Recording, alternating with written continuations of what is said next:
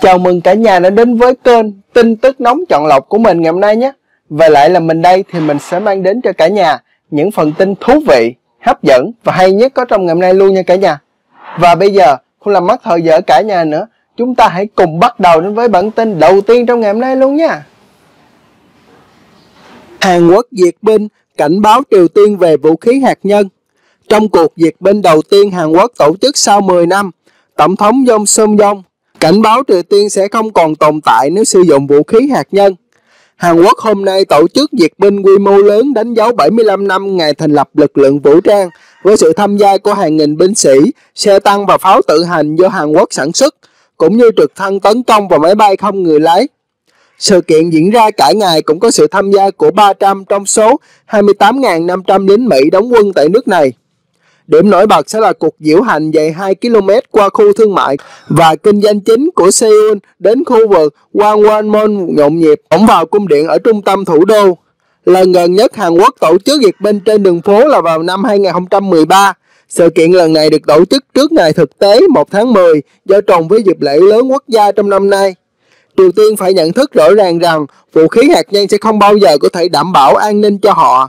Tổng thống Hàn Quốc Jong Sop Yong phát biểu tại căn cứ không quân ở Seoul Nam, phía nam thủ đô, nơi bắt đầu cuộc diệt binh.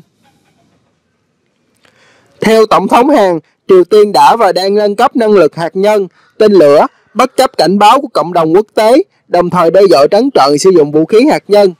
Điều này tạo thành mối đe dọa hiện hữu đối với người dân chúng tôi và là thách thức nghiêm trọng đối với hòa bình thế giới. Quân đội của chúng ta sẽ ngay lập tức đáp trả bất kỳ hành động khiêu khích nào của Triều Tiên. Nếu Triều Tiên sử dụng vũ khí hạt nhân, phản ứng áp đảo từ Liên quân Hàn Quốc và Mỹ sẽ chấm dứt sự tồn tại của họ. Ông Yon cũng cho biết Hàn Quốc sẽ tăng cường hơn nữa hợp tác an ninh với Mỹ và Nhật Bản dựa trên liên minh bền chặt với Washington, đồng thời thiết lập thế trận an ninh mạnh mẽ bằng cách đoàn kết chặt chẽ với các quốc gia đối tác. Trong cuộc diệt binh, tên lửa Hyumu và tên lửa đánh chặn L-SAM cũng xuất hiện. Văn phòng Tổng thống cho biết kế hoạch tham dự của tiêm kích F-35 và chiến đấu cơ đầu tiên được phát triển trong nước KF-21 đã bị hủy bỏ vì thời tiết xấu. Hyumun là một trong những tên lửa mới nhất của Hàn Quốc, được các nhà phân tích cho là một phần không thể thiếu trong kế hoạch Seoul tấn công Triều Tiên nếu xảy ra xung đột. Elsam được thiết kế để bắn trúng tên lửa đang bay tới ở độ cao 50 đến 60 km. Theo Bộ Quốc phòng Hàn Quốc, lễ duyệt binh cũng bao gồm màn bay chung máy bay quân sự Hàn Quốc và Mỹ để thể hiện tư thế phòng thủ chung được nâng cấp. Urena có thể mất hai xe tăng Leopard 2 hiện đại nhất. Hai xe tăng Leopard 2 Urena bị UAV tự sát Nga tấn công tuần trước là mẫu Fritz 122, phiên bản hiện đại nhất thế giới được Thụy Điển chuyển giao. Quân đội Nga từng trước thông báo phá hủy hai xe tăng Leopard của Ukraine gần làng Stelmakovka thuộc tỉnh Lugan. Chuyên gia quân sự Mỹ David S nhận định mục tiêu bị tấn công là xe tăng st 122, phiên bản hiện đại nhất của xe tăng chiến đấu thủ lực Leopard 2 thuộc biên chế lữ đoàn cơ giới số 21 Ukraine.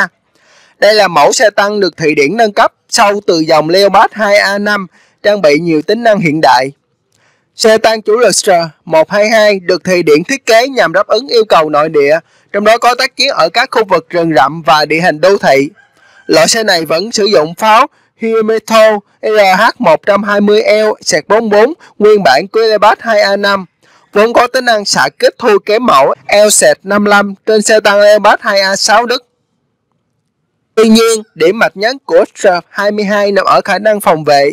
Nó được ứng dụng hàng loạt cải tiến để khắc phục nhược điểm của biến thể Leopard 2A5, trong bổ sung những khối giáp gia cường ở mặt trước thân xe và nóc pháp pháo để đối phó với vũ khí chống tăng tiên tiến tương tự mẫu Leopard 2A6X do Đức phát triển.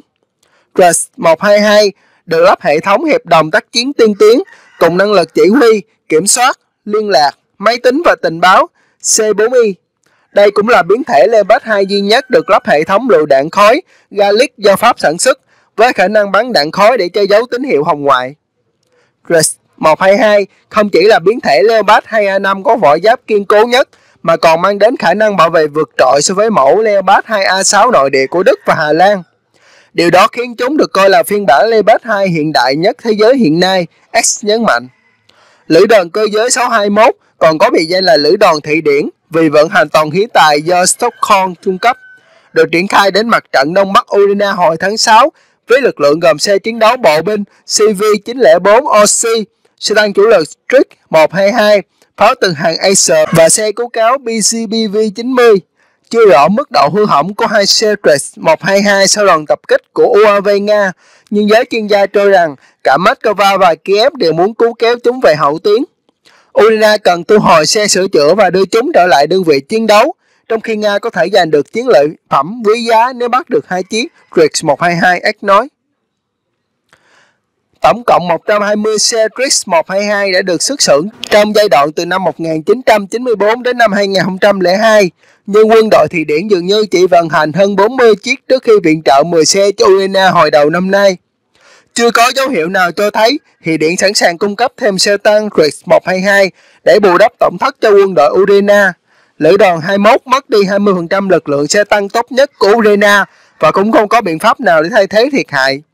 Điều đó sẽ càng thúc đẩy họ thu hồi những xe bị lực lượng Nga vô hiệu hóa, ác nhận định.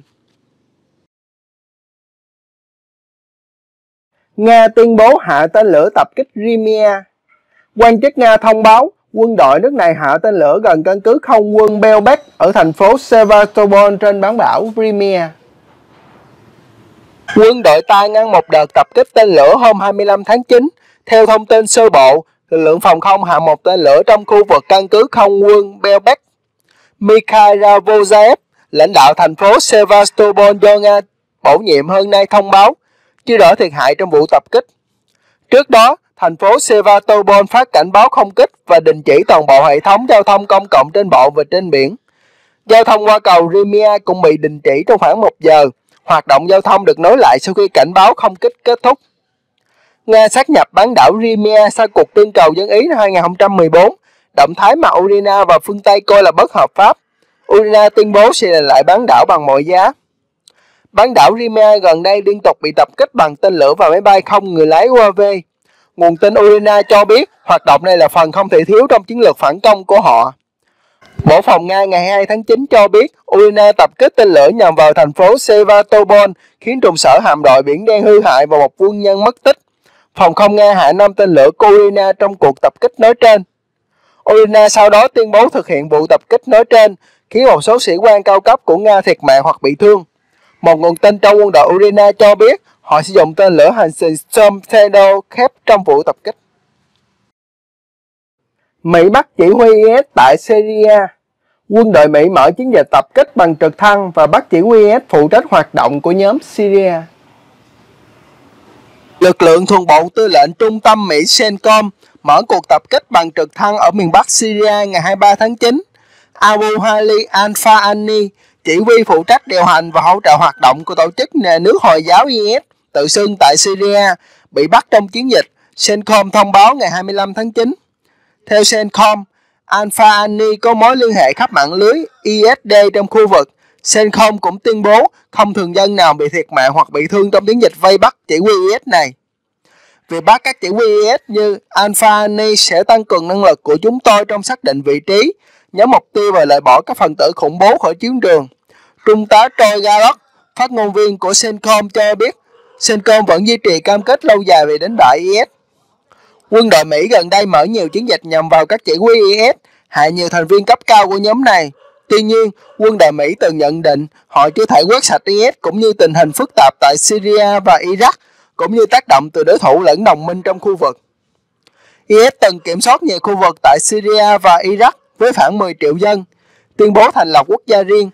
Tuy nhiên, IS hướng nhiều thất bại trước các chiến dịch riêng lẻ của liên quân do Mỹ dẫn đầu và quân đội Syria với hậu thuẫn từ Nga. Sau khi mất thành trì cuối cùng tại Syria vào tháng 3 năm 2019, toàn quân IS rút vào ẩn náu trong sa mạc, thỉnh thoảng tổ chức các vụ tập kích nhằm vào lực lượng người Kurd và quân đội Syria.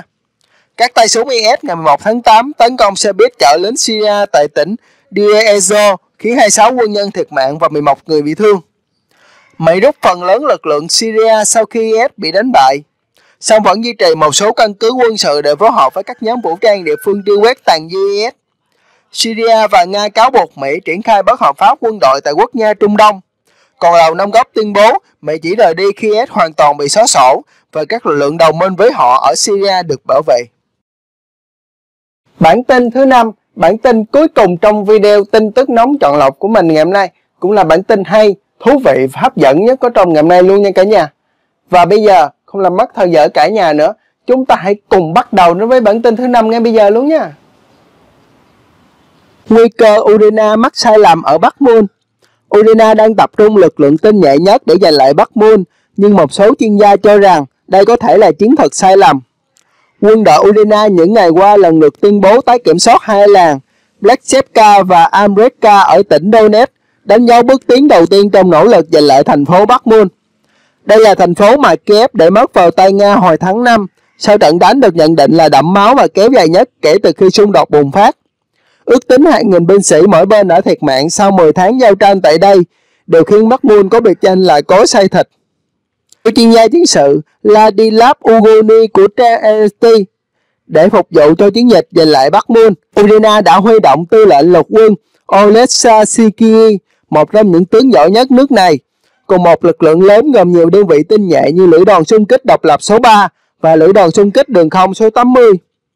Kiev từng cho biết quân đội nước này muốn kiểm soát Bắc Môn để kiềm chân lực lượng Nga, ngăn đối phương tiến sâu hơn về phía Tây và nhắm trực tiếp vào phòng tuyến của Ukraine trong khu vực. Trong khi đó, Ugoni nhận định Ukraine dòng lực giành lại Bắc Môn vì đây là vấn đề mang tính danh dự của Kiev. Trong giai đoạn đầu của cuộc xung đột, Bắc Môn được coi là biểu tượng về nỗ lực kháng cự Nga của Ukraine. Hình ảnh về chiến sự tại thành phố này được người dân Ukraine cập nhật liên tục trên mạng xã hội, trong khi Bắc môn sẽ thủ vững là một trong các khẩu hiệu phổ biến nhất tại Urina vào thời điểm đó. Việc để mất thành phố biểu tượng về truyền thông này là một thất bại đau đớn của Urina, nên Kiev muốn giành lại nó, Ugoni nói. Giới chuyên gia và các quan chức phương Tây từng nhiều lần chỉ trích việc Urina dồn quá nhiều nguồn lực quý giá để bảo vệ Bắc môn Trong đó có những đơn vị được thành lập cho chiến dịch phản công cũng được tung vào trận chiến và hứng chịu thiệt hại lớn. Bộ trưởng Quốc phòng Mỹ Lloyd Austin hồi tháng 3 khẳng định Bắc Môn không mang nhiều giá trị chiến lược và về việc mất thành phố này không đồng nghĩa Ukraine sẽ mất thế chủ động trong cuộc chiến. Việc Tổng thống Sri Lanka không nghe theo lời khuyên của Mỹ là một trong những nguyên nhân khiến chiến dịch phản công của Ukraine đang diễn ra chậm chạp. Ugoni nhận định. Ukraine phát động chiến dịch phản công được chờ đợi từ tháng 6, song tốc độ được đánh giá không nhanh như mong đợi. Trong hơn 3 tháng chiến đấu ác liệt, các đơn vị Ukraine chỉ tiến được khoảng 15 km trên ba tục tráng chiến thành công nhất. Tại mặt trận Zaporizhia, Ukraine đến cuối tháng 8 mới phá vỡ được phòng tuyến đầu tiên của Nga ở làng chiến lược Rabotino và hiện gặp khó khăn trong nỗ lực tiến sâu hơn. Hai trong số 4 sư đoàn dù và ba trong số 4 lữ đoàn dù của Nga đang làm nhiệm vụ phòng thủ ở Bắc Môn. Nga không có đủ lực lượng dự phòng để huy động ngăn chặn chiến dịch phản công chính của Ukraine ở Zaporizhia. ISW nhận định thêm rằng Ukraine cần phải tiếp tục tiến hành các chiến dịch quy mô lớn ở Bắc Môn để phân tán lực lượng Nga. Cảm ơn cả nhà đã theo dõi hết video của mình ngày hôm nay nhé. Về ủng hộ cho kênh, cả nhà hãy cho kênh của mình một like, một chia sẻ, một đăng ký cũng như là bật nút chuông phía bên dưới để nhận được những thông báo khi kênh của tụi mình ra video mới nhất nhé. Và bây giờ, thay mặt cho ekip của tin tức nóng chọn lọc ngày hôm nay thì mình xin cảm ơn cả nhà đã ủng hộ mình trong thời gian vừa qua và sẽ mong trong thời gian tới cũng như trong tương lai sắp tới thì được nhiều nữa ủng hộ từ khán giả trong và ngoài nước luôn nha. Và bây giờ thì xin kính chào, tạm biệt cả nhà. Hẹn gặp lại cả nhà những tin tiếp theo nha. Tạm biệt cả nhà.